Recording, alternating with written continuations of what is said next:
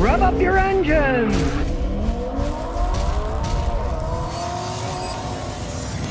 Here we go. Tesla's at it again. Now they're looking at a new market, car insurance. Well, you figured, you know, old Elon's kind of greedy, so what's greedier than an insurance company? Take in a whole bunch of money and pay a little bit of money out. And of course, they do it mathematically. If you know anything about insurance, all they do is the mathematics. How many houses, how many cars get wrecks in this area, and then we charge a lot more money than that. We pay a little bit of it out and we keep the rest as a profit. Pretty much a license to steal, really, when it comes down to it. And then if there are catastrophic stuff happening, then they just raise the rates in the next year to pay for it. They're not really taking any risk. but then they say, like here in Rhode Island, when I was calling places, oh, I'm sorry, we no longer insure a coastal Rhode Island at all. It's too much of a risk. We don't even sell you insurance there.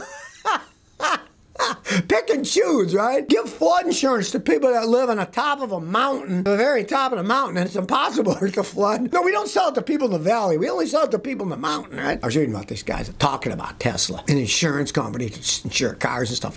Well, it's all integrated, so it's their cars. They'll sell the insurance and stuff, and then they can be integrated with the people that fix it. Blah blah blah blah blah. Well, if you've ever known anybody with a Tesla and they had a problem, and sometimes it took months to fix it, you got a monopoly. They're gonna charge more. It's all money going in their pocket, right?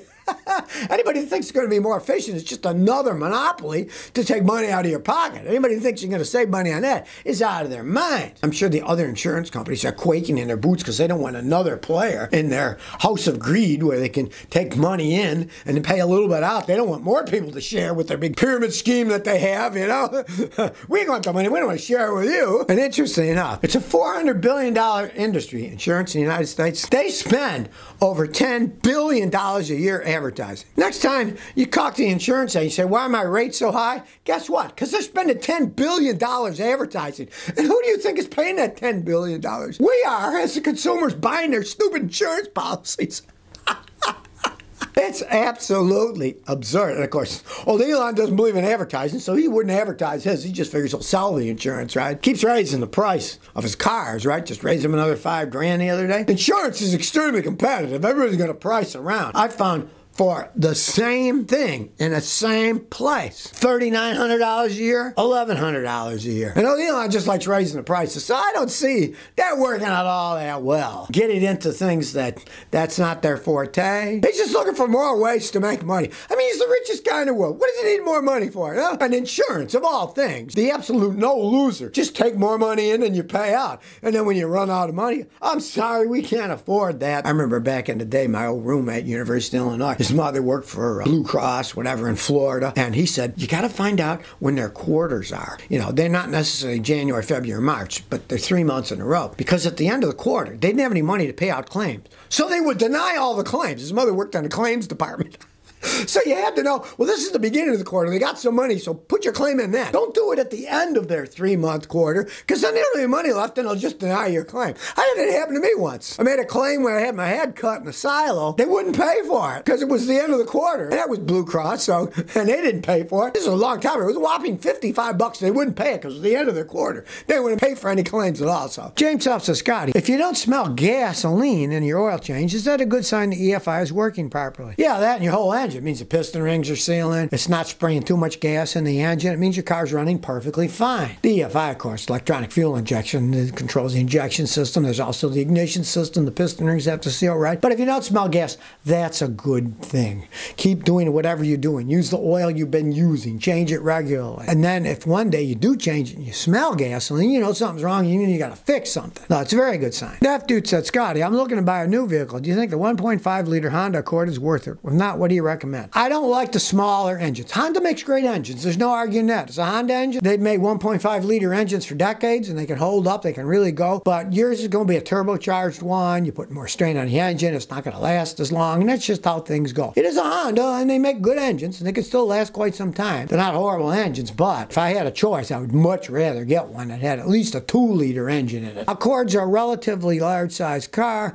You need a lot of power to move them around right. And turbocharged turbocharging uh, 1.5 liters, kind of a cheap way to get that power. I, I personally wouldn't buy. It. I don't like turbos because I'm cheap. I want a car that lasts forever. I don't want it that I got to buy a turbo. I had a turbo's four thousand dollars. Blah blah blah. No, give me an engine that's strong enough to go down the road. Take my Matrix. It's an 07 Matrix. It's only a 1.8 liter. It's not turbocharged. It's got plenty of acceleration. You need to drive more than 80 miles an hour. I mean, it'll do 100 something, but on a highway cruising, 75 is it most places, so it works perfectly fine. The turbochargers get them faster, but it also wear them out faster. Craig Heffert says, what PH E, would you buy those partial fuel efficient electric cars? Well, if I was going to buy something like that, I'd buy a Toyota because, I mean, they've been making the hybrids for ages. I'm too cheap to buy a new car, so it would be a long time before I'd buy one of those. If you're thinking about buying one, look at the actual range because I saw a guy who was thinking about buying one. He was thinking about buying a Toyota, but he says, I commute 50 miles each way. So instead, he bought a Toyota Corolla hatchback and he loves it. He gets 40 miles a gallon because the electric ones would not do that trip back and forth. They'd go back into the gasoline motor. So what's the point of buying something that's electric if it's running on a gasoline motor? But if I was going to buy one, I'd get a Toyota one, but I won't be buying that anytime soon. My cars work fine and we're going to have gas for quite some time. I can guarantee you that. Cash Bryant says, I got a 2012 Toyota RAV4. Track lights off and four-wheel drive light comes on. What could it be? Okay, well, as for your track and your four-wheel drive light, it's a software thing with Toyotas. If your check engine light comes on, it automatically turns off the traction control and the ABS for safety reasons, and that's why the light comes on. Odds are you find what's wrong with the check engine light and fix that the other lights will go away because then the computer will turn them back on. Get the code, you got to analyze it. Could be an oxygen sensor, could be all kinds of things. There's hundreds of codes, so get it scanned. A lot of all parts stores do it free. They'll give you a little analysis so you can email me. And I can tell you from my experience what that code means. And once you fix the code, generally the other lights will go out on the Toyota. It is just oddball software thing like years ago before all this computer crap. If you had a Toyota, a lot of times when your battery light came on, you'd also get your brake light on. It was just a thing that when your alternator stopped charging, it also turned the brake light on, even though there was nothing wrong with the brake system. So, you know, it's just kind of a glitchy thing they have. Lionel Rivera says, What do you think about Mitsubishi rebadging Nissans? Well, it's kind of like going from the pot into the frying pan. You're going to get hot either way. They're both not the greatest companies in the world. But everybody, everybody nowadays rebadging everything. The Toyota sports cars are rebadged Subarus. And from what my friends tell me in Europe, Toyota sells little delivery vans that say Toyota on them in Europe, but they're actually just Fiat delivery vans. They're Italian vans, and Toyota's rebadging them as Toyota. So, you know, what these people are doing is, I think it's stupid. They are diluting their own name. Why would you want to dilute your own name? You got a good name like Toyota, why would you want to be selling Fiat products under your name? But I guess it's just greed. They want to make a profit. They don't do it in the United States yet. You know, they don't sell vans here that are Italian Fiats and say Toyota, but they do in Europe. I think a company should only use its own stuff. And then the poor companies, they want to jump on the back of the good companies. The good companies should not jump on the back of the bad companies. If I was Toyota, I would have never sold Fiat-made vans in Europe and call them Toyotas. Jonathan Bale says, I got 2.4 Equinox. It calls for 5 liters. It only has 3, and it's past the dipstick. Help. It calls for 5 liters. You only put in 3, and the dipstick's past full. You got something wrong in that engine. Well, first, you got to drain drain the oil all out. Let it all drain. Warm it up 10 minutes, then drain the oil, take the filter off.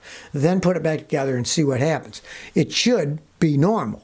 But if it isn't, and the dipstick reads above, then you got a problem inside the engine. Something isn't draining oil correctly. It's not going through the system right, and it's staying in one place that's showing you got too much oil. Because if you drain it all out, there's no way that that amount of oil is going to be too high. The only other thing would be if you've got a problem in the engine. Say your head gasket's blowing, then you change the oil, you put the oil in, you drive it around, water will get in the oil. Then the oil dipstick will go up because oil's lighter than water. The water will sink to the bottom and the oil will come to the top. So it'll look like you got too much oil, but actually you put the right amount of oil in and the rest is water and your engine's destroyed. So if it runs poorly and you're losing coolant, that's what's happening. If you did use the correct amount, that means you're starting to blow a head gasket and the oil floats on the water, so it'll give you a higher reading. Gilbert Hoffler says, I got a 2014 Honda Accord with Earth Dream engine. When I launch from a dead stop, slow response. Does the same when I'm trying to pass on a freeway. Eco and tire grip mode are off. Doesn't help, it still does it. It is an eight-year-old car. Start with the simple stuff. Change the air filter, change the fuel filter, change the spark plugs. And do my video, make your car run better with a little spray cleaner. You want to clean that mass airflow sensor, you want to clean the throttle. It can build up with carbon. You'll probably probably find that goes away.